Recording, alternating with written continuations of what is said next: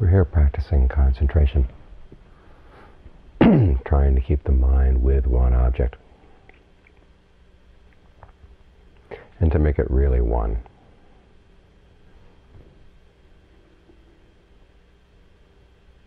But we have to remember that the practice of concentration is part of a larger path. There are other elements as well.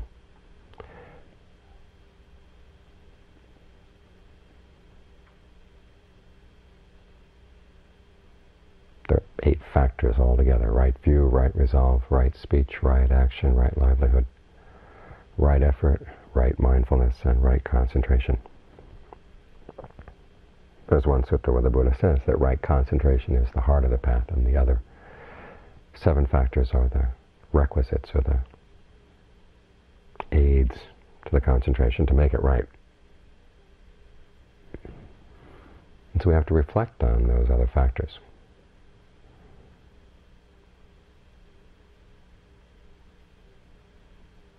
And we also need practice in those other factors, because the factors are things that we do. They're not just things that we think about. Actual skills that we try to develop in our lives. Right ways of looking at things, right ways of thinking, planning our actions, and then right ways of carrying through those actions. When you have practice in that, then it's easier to focus in on directly on the mind itself. Right view starts with conviction in the principle of karma, that what you do is going to give results. Your intentional actions do make a difference. All too often we fall, fall prey to the notion that there's somebody out there who's got control over things in your life. And that you just might as well give up.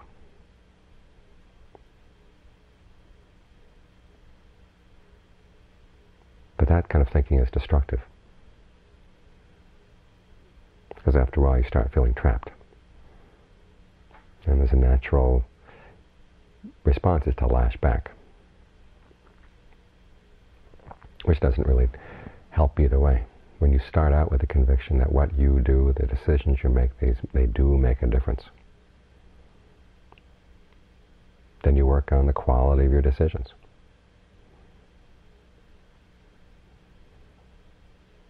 from that beginning level of right view comes the, a higher level of right view, that you want to see exactly which actions create stress and suffering and which ones don't. And you resolve that you're going to develop the skills needed so that you can act in such ways that don't create suffering, don't create stress. Always keep this in mind because it's an important principle in the meditation.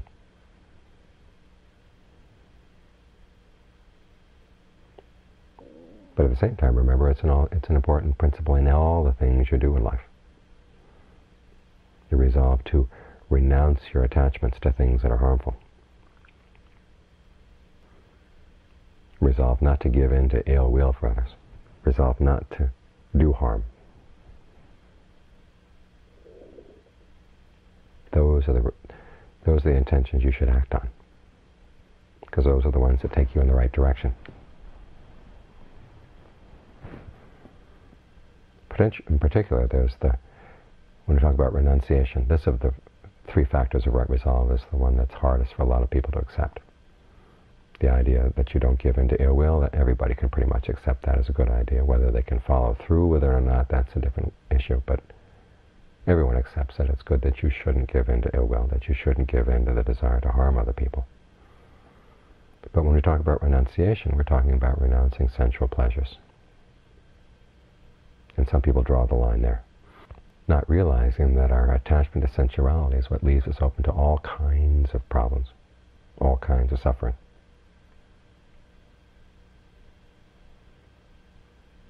If lust and desire were such good things, why do they lead to so much harm in the world? We feel that they have to be allowed to express themselves. what about the part of the mind that is better off not expressing those desires. That feels freer, feels more unlimited when it's not tied down to sensual desires. What about that part of the mind? That's the part that tends not to be not to be given any room in our society. Day after day after day, we're bombarded. If you have any contact with the media at all, it's constantly bombarded with desires for this thing, desires for that thing, encouraging you to have more and more desires. Because that's what keeps the economy rolling. Or do you want to put your mind into the service of keeping the economy rolling, or do you want to put your mind in the service of gaining freedom for itself? That's the question you've got to ask.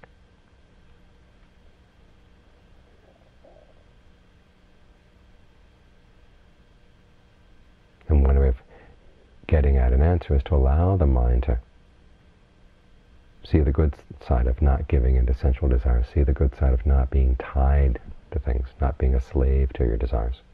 What would life, what would that kind of life be like? The mind would have a lot more freedom.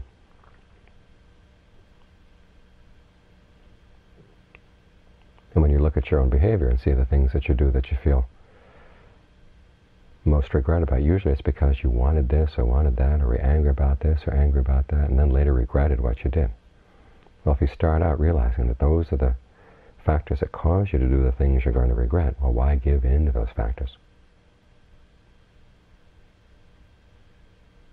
Think about this for a while. And then the question, of course, comes, well, where are you going to find pleasure in life if you don't have the sensual pleasures? That's what the meditation is for, is to provide an alternative.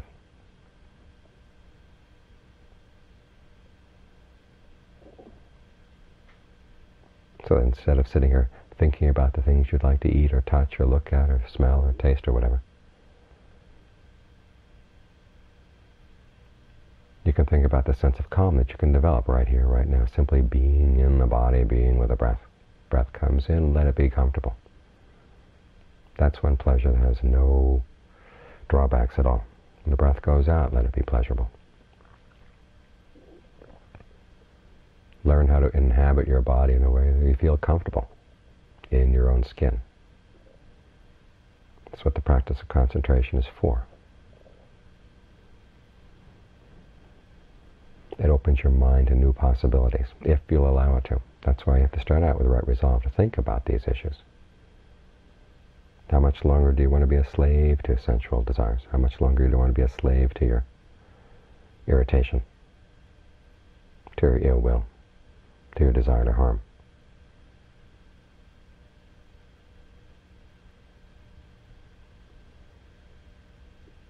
So you think about them and you act about those things. You act on those principles.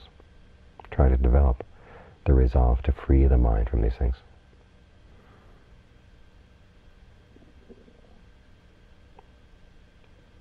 This is where the middle factors of the path come in, as you learn how to practice it in day-to-day -day life, right action. You're dealing with other people. In the grossest form, it's not killing, not stealing, not engaging in illicit sex. And from that you can develop to higher and higher levels of refinement. Because what are the areas that these, these principles work on? One is you don't do any harm to people's bodies, to their lives. One. Two, you don't do any harm to their possessions. And three, you don't do any harm to their relationships with one another. Killing, stealing, illicit sex, those are the grossest forms of doing violence to people in these three areas. And once you've mastered that, abstaining from those gross forms of violence, then you can work on more and more refined ones. Becoming more and more sensitive to how you do violence to other people, to their beings, to their possessions, to their relationships. This teaches you to look at your actions and look at their results. And also shows you the, the principle of what impact your actions do have on the world around you, and especially the world that you experience. If you change the way you act, you'll be, find yourself living in a different world. The parameters change because you've changed the intentions that you've been acting on. Same goes with the principle of right speech, the principle of right livelihood. The way you speak with people, the way you form words in your mind. This is going to have a big impact on the way you practice concentration. The mental chatter that you pay attention to, the mental chatter that you learn not to pay attention to. Topics that you feed on, the topics that you learn how to let go. These are all important considerations when you're getting ready to meditate. And it's important that you have practice in day-to-day life. Now how to keep watch over your mouth. I've said it many times one of the first lessons that Ajaan Fuang gave to me was to if you want to have control over your mind, the first thing you have to practice is having control over your mouth. The basic principles are no lying, no harsh speech, no divisive chatter, no divisive speech, no idle chatter. In particular in the area of idle chatter. That seems the hardest of the forms of wrong speech to avoid, but it's the most important because otherwise you're going to be sitting here for the whole hour with lots of idle chatter going through your mind. Thinking about this, all of a sudden you've got this whole space, a whole hour to sit here and no responsibilities, and you start thinking about one thing after another. And a lot of it is just furniture stuffing. If you were to take your thoughts out and look at, you know, put them on the floor in front of you, you'd see that there was really nothing much there. Just a lot of random things.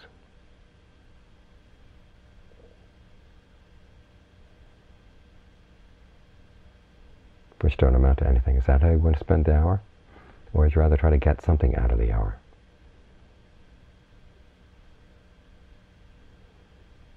Ajaan Fuang's principle was before you say anything, ask yourself if it's really necessary. If it's not necessary, don't say it. You find that that cuts through a lot of unnecessary speech, a lot of idle chatter. And then after you get used to not saying those things, after all you realize, well, there's no reason to think those things. Makes it easier to let go of the idle chatter inside because you know there's not going to be any outlet outside. Same principle applies with the right livelihood. The way you make your living is going to have a huge impact on the way you think, the thoughts you allow to come into your mind, the thoughts you don't allow to come into your mind, the thoughts that have no space at all. If you resolve to make your, make your living only in ways that are honest, and you can develop that principle of honesty to whatever level of refinement you want. Then you find yourself get, putting the mind in the position where if it really wants happiness, it's going to have to look inside.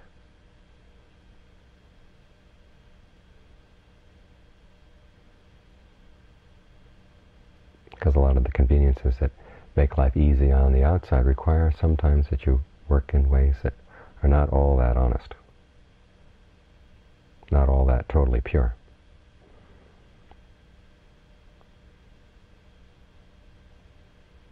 But if you can develop a, a sense of happiness inside that doesn't depend on things outside, then you find that you can live more lightly in the world. That chant we had just now about the, the requisites, food, clothing, shelter, medicine. When you think about it, all of these things that you need in order to live require that somebody suffer someplace. So even when your livelihood is totally honest, the fact that you've got, got a body that's like this big gaping hole that constantly needs things to cover it up, fill it up. You realize that the more frugally you can live, the more you can find happiness depending on internal factors, then the lighter your life will be on other people. So all these factors keep pointing you into the mind, into the mind. And meditation starts right there with the factor of right effort. Realizing that not only what you say and do is going to have an impact on the shape of your world, the shape of your experience, where those actions and where those words come from. What's the mind, the qualities in your mind? You've got to work on those. So you try to foster skillful qualities in the mind and put aside unskillful ones.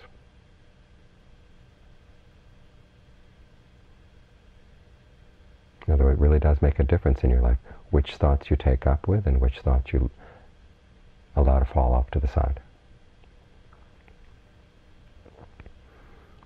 So that when you're meditating here, you're not simply just following the flow of whatever comes in your mind. You're taking charge. You're giving direction to what you want to focus on. Which thoughts are going to take the floor, which thoughts are going to be pushed off to the side.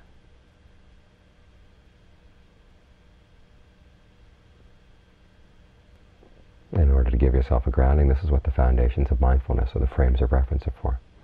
To focus here on the body in and of itself. Just what you've got right here, right now. You don't think of the body in terms of how good looking it is, or how strong it is, or how healthy it is, or how young or old it is. Just what is the experience of a body right here and now. That's all you have to worry about. That's your frame of reference.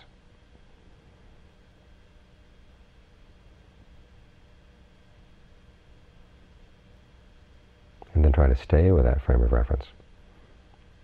No way you can be friends with it. If you can't feel friendly towards the present moment, then it's hard to stay there. If you don't feel friendly towards the breath, it's hard to keep with the breath. All too often as you're trying to meditate, it seems like the breath is the hardest thing to stay with. It becomes your enemy. Well, just stop for a few minutes and realize if you didn't have this breath, you wouldn't be alive. How can you regard it as your enemy? And the quality of your breathing is going to have a really big impact on how you experience the rest of the body, because the breath is your primary experience of the body. We often identify with the solid part of the body and think that the breath is something that we pull in and push out, but it's actually our immediate experience of having a body is through the breathing.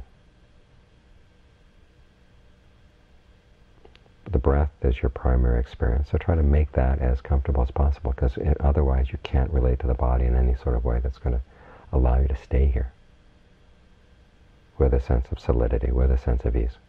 To develop those qualities of ease, rapture, pleasure in the, in the immediate present.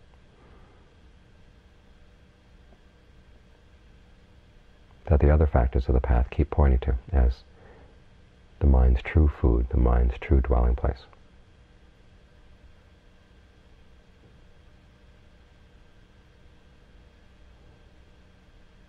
At the same time, the, the other factors of the path have prepared you to keep looking at your actions and looking at the results they have, the results they lead to. And they get you used to asking that question, how can I cause less stress, less suffering, less pain here? You apply that to the breath, you apply that to the mind in the present moment. And you find that it's in the context of those questions that all the teachings on insight make sense. You get more and more sensitive to what you're doing, doing, doing all the time in your choices. Even the simple choice of what you're going to focus on, how you're going to focus on it. These are actions, and they have results. They shape your immediate experience of the present. What happens as you make them more refined?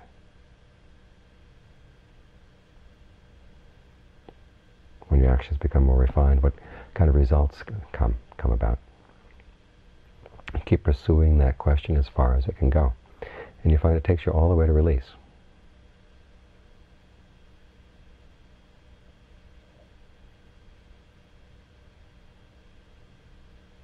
So this practice that we're following right here, it, it has a context.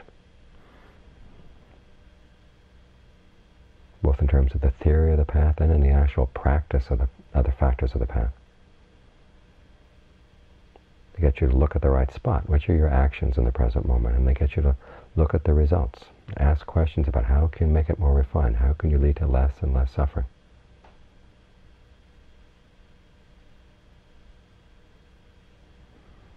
And it's in this way that the seven first factors of the path create the proper context for what we're doing right here.